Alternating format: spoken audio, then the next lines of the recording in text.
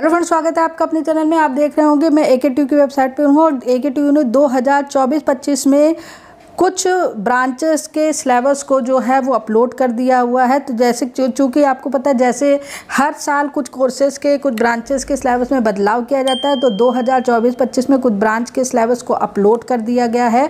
ये इन सारे सिलेबस का जो पीडीएफ है, वो मेरे टेलीग्राम चैनल पर है और टेलीग्राम चैनल का लिंक जो है वो डिस्क्रिप्सन बॉक्स पर है। तो चलिए चलते देखते किन ब्रांचेस में जो है बदलाव किया गया। तो यहाँ मैकेनिकल एरोनॉटिक्स और एग्रीकल्चर के बी थर्ड ईयर का सिलेबस आ चुका और साथ ही बीबीए का फाइनल ए के बी सिलेबस आ चुका है।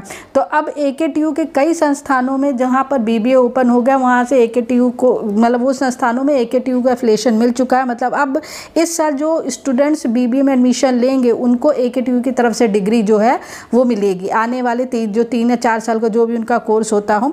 तो यहाँ पर कुछ है जैसे मैकेनिकल इंजीनियरिंग की मैं बात करूँ तो मैकेनिकल इंजीनियरिंग का सिलेबस जो है आप यहाँ पर देख सकते हैं दो हज़ार का आ चुका है।